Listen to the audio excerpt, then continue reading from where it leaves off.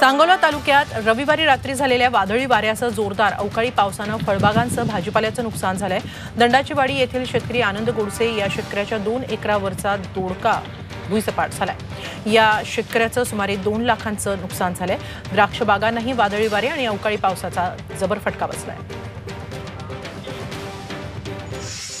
सांगलीमध्येही अवकाळी पावसाचा फटका बसलाय. उकाड्यानं हैराण झालेल्या सांगलीकरांना या पावसामुळे थोडा दिलासा मिळाला आहे गेल्या काही दिवसांपासून सांगलीमध्ये तापमान चाळीस अंशांच्या आसपास आहे. नागरिकांसाठी हा पाऊस दिलासादायक असला तरी या अवकाळी पावसाचा फटका पिकांना बसणार आहे.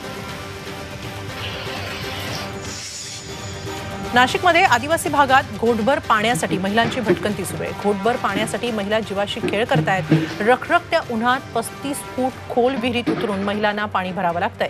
इगतपुरी त्र्यंबकेश्वरमधील पाणी टंचाईचं हे भीषण वास्तव आहे. त्र्यंबकेश्वरच्या महादरवाजा मेट या गावातील महिला पाण्यासाठी पहाटे चार वाजल्यापासून या विहिरीवर बसलेल्या असतात.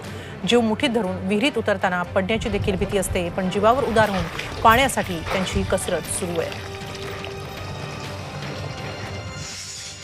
अमरावतीमधील गोपालनगर परिसरात पाणी पुरवठा होत नसल्यानं महिला आक्रमक झाल्या. युवा स्वाभिमान पक्षाच्या नेतृत्वाखाली जीवन प्राधिकरणाच्या कार्यालयावर महिलांनी घागर मोर्चा काढला. यावेळी हंडे फोडून महिलांनी संताप व्यक्त केला. दोन दिवसात पाणी सुरू झालं नाही तर अधिकाऱ्यांना फोडण्याचा इशाराही आंदोलकांनी दिला.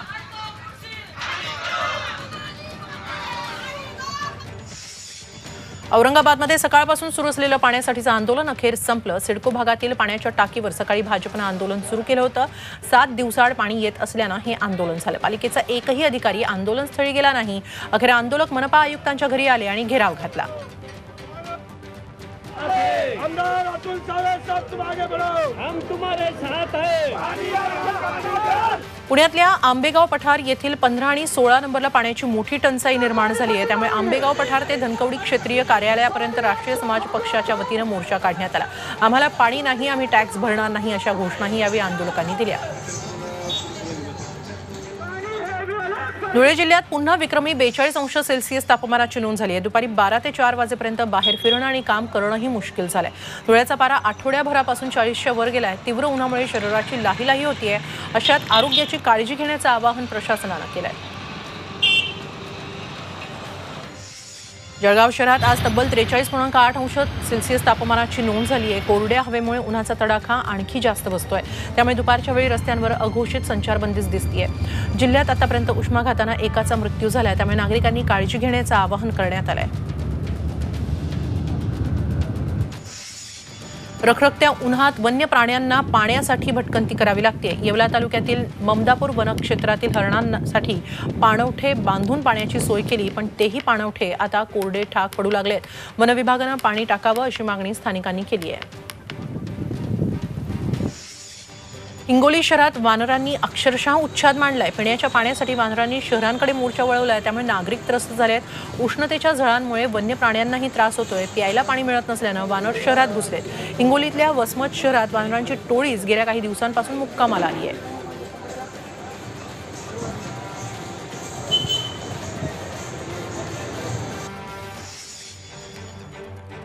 देशात सर्वात महाग पेट्रोल परभणीत विकलं जात आहे. परभणीत पेट्रोलनं एकशे बावीस रुपयांचा पल्ला पार केला आहे. परभणीत पेट्रोल एकशे एकवीस रुपये त्रेचाळीस पैसे दरानं विकलं जात आहे. तर डिझेल एकशे चार रुपये एकोणचाळीस पैसे प्रति लिटरवर गेलं आहे मराठवाड्यात इंधन डेपो नसल्यानं परभणीला मनमाडवरून पेट्रोल डिझेल पुरवलं जातं. या चारशे किलोमीटर अंतराचा अतिरिक्त वाहतुकीचा भुर्दंड परभणीकरांना भरावा लागतो.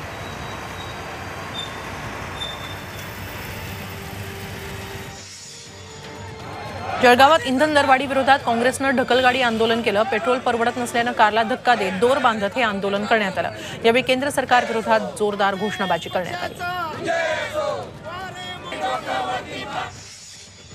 देशभरातील वाढत्या महागाईच्या विरोधात औरंगाबादमध्येही काँग्रेसकडून मोर्चा काढण्यात येणार होता. मात्र पोलिसांनी मोर्चाची परवानगी नाकारल्यानं काँग्रेसनं शहागंज भागातील गांधी पुतळ्याजवळ धरणं आंदोलन केलं.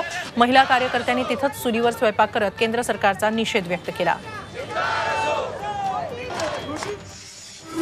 गोंदियामध्ये महागाई विरोधात काँग्रेसनं ठिय्या आंदोलन केलं. यावेळी शेतकऱ्यांनीही आपले ट्रॅक्टर विक्री विक्रीला काढल्याचं सांगत ते आंदोलन स्थळी आणून ठेवले.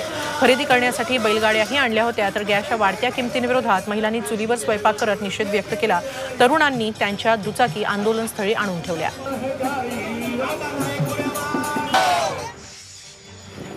वाढत्या महागाईमुळे वाशिमच्या एका शेतकऱ्यानं चक्क नांगराला घोडे झुकलेत शेलगाव या त्यांच्या गावापासून तीन किलोमीटर अंतरावर असलेल्या शेतात जाण्यासाठी भाऊराव धनगर यांनी हे घोडे विकत घेतले होते. मात्र वाढत्या महागाईमुळे ट्रॅक्टर मिळेना शिवाय केवळ शेतीसाठी बैलजोडी विकत घेणंही परवडेना तेव्हा त्यांनी नांगराला घोडे जुंपले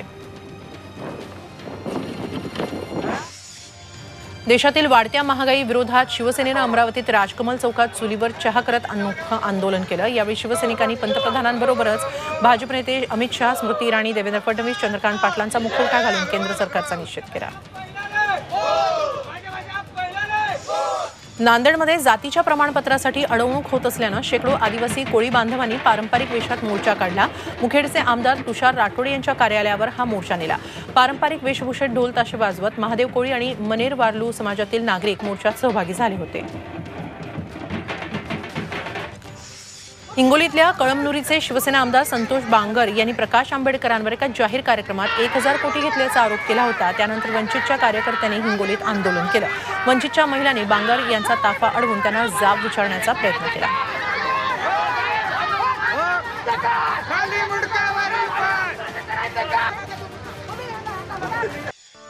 औरंगाबाद पुण्यानंतर आता पिंपरी चिंचवडमध्ये मोठा शस्त्रसाठा जप्त करण्यात आलाय. औरंगाबाद आणि नगरला कुरिअरद्वारे सत्त्याण्णव तलवारी दोन कुकरी नऊ म्यान पाठवण्यात येत होते मात्र त्याआधीच दिघी पोलिसांनी डीटीडीसी कुरिअर कंपनीच्या वितरण केंद्रातून हा साठा जप्त केला.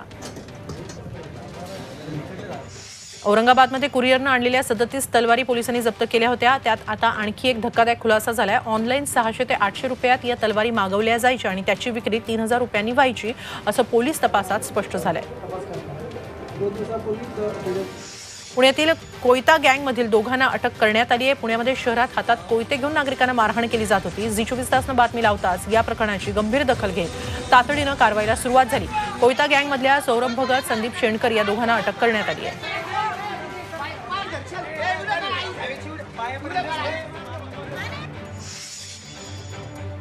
किरकोळ वादातून एका महिलेला तिच्या नातेवाईकांनी ठार करून जाळलंय. रायगडच्या नागोठणी रिलायन्स टाउनशिप समोरील करकर्णी देवी मंदिर परिसरातील जंगलात हा प्रकार घडला.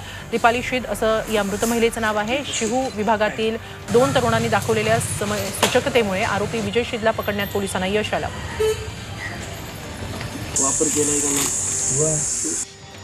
वर्ध्यामध्ये तृतीयपंथीयांना नायब तहसीलदारांनी असभ्य वागणूक दिल्याचा आरोप होतोय. नायब तहसीलदारांनी तृतीयपंथीयांना पेहरावात बदल करण्याचा सल्ला दिला. त्यावरून तहसीलदारांनी जाहीर माफी मागावी असं निवेदन तृतीयपंथीयांनी जिल्हाधिकाऱ्यांना दिलंय. जिल्हाधिकाऱ्यांनी या प्रकरणी कारवाईचे आदेश दिले तर तहसीलदारांनी आरोप फेटाळले.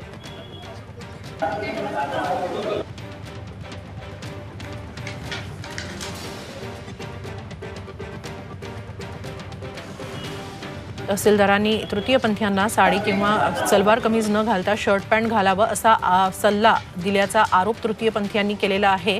त्यानंतर त्यांनी जिल्हाधिकाऱ्यांना निवेदन देऊन तहसीलदारांनी माफी मागावी तीही जाहीर माफी मागावी अशी मागणी केली. त्यानंतर जिल्हाधिकाऱ्यांनी या संदर्भात कारवाईचे आदेश दिलेले. आहेत. दरम्यान तहसीलदारांनी मात्र त्यांच्यावर झालेल्या आरोपांबाब आरोपांना फेटाळून लावलेलं आहे. आपण असं कोणतंही वक्तव्य केलं नव्हतं. असा सल्ला करण्यामागे कोणाच्याही भावना दुखावण्याचा हेतू नव्हता असं ते म्हणाले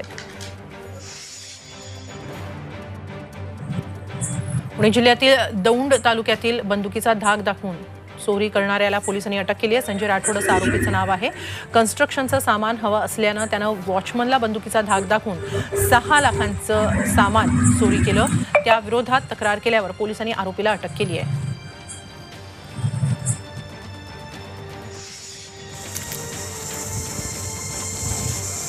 मावळमध्ये बडेश्वर इथे एका शेतकऱ्याच्या घराच्या अंगणातील चंदनाचं झाड चोरट्याने मुळापासून तोडून नेलं. झाड तोडताना कटरचा आवाज झाल्यानं शिंगारे कुटुंब बाहेर आलं. मात्र चोरट्यांनी त्यांच्यावर दगडफेक केली. यावेळी शिंगारे वडील मुलांना दगड लागले. दहा ते बारा जणांची टोळी होती.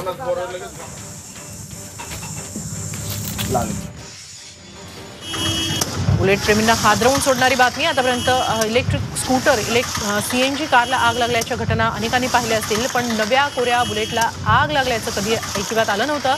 मात्र एका व्यक्तीनं घेतलेल्या नव्या कोऱ्या बुलेटच्या बाबतीत असा प्रकार घडला आहे बुलेटची पूजा करण्यासाठी त्यानं ती मंदिरासमोर लावली होती. त्याच वेळी अचानक या बुलेटचा स्फोट झाला. अगदी बॉम्ब फुटावा तसा हा स्फोट होता.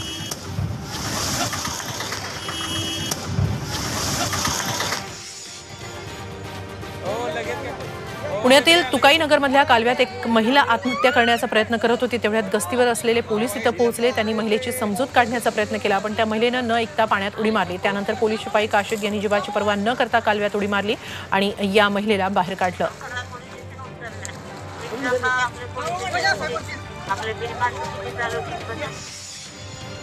चंद्रपुरात आकाशातून पडलेल्या मोठमोठ्या धातूच्या गोळ्यांचं गूढ अजूनही कायम आहे. या वस्तू नेमक्या काय आहेत हे स्पष्ट करा असं पत्र चंद्रपूर जिल्हा प्रशासनानं इस्रो आणि अन्य संस्थांना दिलंय. चंद्रपूर जिल्ह्यात सिंदेवाही तालुक्यात आकाशातून मोठमोठे गोळे आणि रिंग सदृश्य वस्तू पडल्या होत्या. या वस्तू उल्कापिंड नसल्याचं स्पष्ट करण्यात आलं आहे जालन्यातील मंठ्यामध्ये दहावीच्या शेवटच्या पेपरलाही कॉपीचं गालबोट लागलं. भूगोलाच्या पेपरमध्ये विद्यार्थ्यांना पुन्हा कॉपी पुरवल्याचं समोर आलंय. याआधी झी चोवीस तासनं मराठीच्या पेपरमधील कॉपीचं प्रकरण समोर आणलं होतं. त्यानंतर शिक्षण मंत्र्यांनी कारवाईची घोषणा केली होती. तसंच भरारी पथकं नेमल्याचंही सांगितलं होतं. मात्र या घोषणा केवळ नावावरच राहिलेल्या आहेत. कोल्हापुरात शिरोलीमधल्या शाळेत मोठा राडा झाला. संतप्त ग्रामस्थांनी शाळेवर दगडफेक केली या शाळेतल्या शिक्षकांच्या त्रासाला कंटाळून आर्यन बुडकर या दहावीच्या विद्यार्थ्यानं आत्महत्या केली होती. या संदर्भात मुख्याध्यापक संस्थापक चालकावर गुन्हा दाखल झालाय पण ते फरार आहेत. त्यांना लवकर अटक करावी अशी मागणी ग्रामस्थांनी केली आहे. पुण्यातील उंडरी येथील युरो शाळेत बाउन्सरकडून पालकांना धक्काबुकी केल्याचा व्हिडिओ समोर आलाय. शालेय शुल्काबाबत ज्या विद्यार्थ्यांच्या पालकांनी शिक्षण उपसंचालकांकडे तक्रारी केल्या होत्या त्या विद्यार्थ्यांना शाळेनं मेलद्वारे टीसी पाठवले. यानंतर शाळेत विद्यार्थ्यांना प्रवेश नाकारला गेल्याचा आरोप करण्यात आलाय. प्रवेशावेळी पालकांना बाउन्सरकडून धक्काबुक्की झाली आहे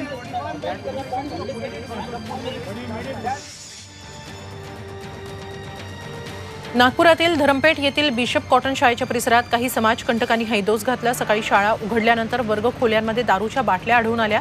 परिसरात ठेवण्यात आलेल्या कुंड्यांची तोडफोड करण्यात आली होती. हैदोस घालणाऱ्या या गुंडांना पोलिसांनी तातडीनं जेरबंद करण्याची मागणी करण्यात येते. आहे शाळेच्या इमारत बांधकामाच्या मागणीसाठी नांदेड जिल्ह्यातील पेठवडस येथील ग्रामस्थांनी जिल्हा परिषदेत ठिय्या आंदोलन केलं. शाळेची निजामकालीन इमारत मोडकळीस आल्यानं शासनानं एक कोटी एकाहत्तर लाख रुपये मंजूर केलेत. मात्र जिल्हा परिषद त्यांचा वाटा भरत नसल्यानं इमारत बांधकाम रखडलंय.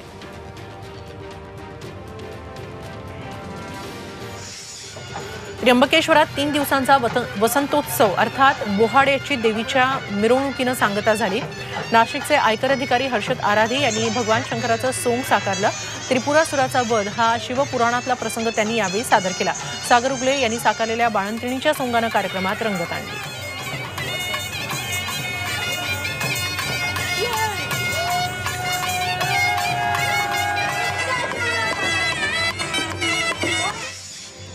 पंढरपुरात विठ्ठलाच्या चंदन उठी पूजेला सुरुवात झाली आहे. उन्हाचा दाह कमी करण्यासाठी ही चंदन उठी पूजा केली जाते.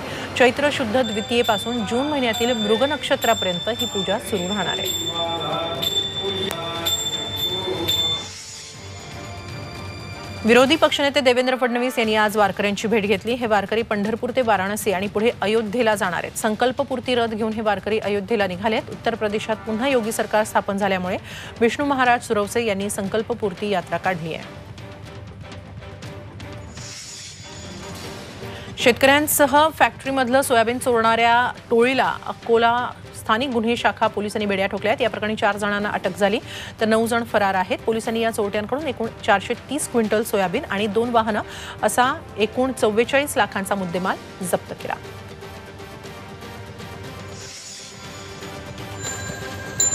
यवतमाळ जिल्ह्यात हळदीला बाजारपेठेत मिळणारा अकरा हजार रुपयांचा उच्चांकी दर बघता शेतकऱ्यांनी हळद काढणीची लगबग सुरू केली आहे. शेतकरी भर उन्हात घाम गाळून मजुरांकडून हळद काढणी करून घेत आहेत. आधी नुकसान सहन करावे लागलेल्या शेतकऱ्यांना यंदा दिलासा मिळण्याची अपेक्षा आहे.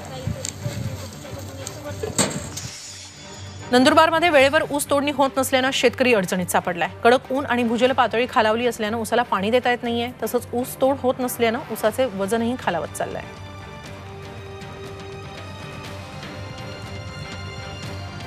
मनसे अध्यक्ष राज ठाकरे यांच्या आवाहनाला प्रतिसाद देत नाशिकमध्ये कार्यकर्त्यांनी हनुमान चालिसा लावली. साक्षी गणपती भद्रकाली मंदिरात मनसे कार्यकर्त्यांनी हनुमान चालिसा लावली. यावेळी मनसे जिल्हाध्यक्ष आणि कार्यकर्ते उपस्थित होते. लाऊडस्पीकर लावत साक्षी गणपती परिसरात हनुमान चालिसाचं पठण करण्यात आलं.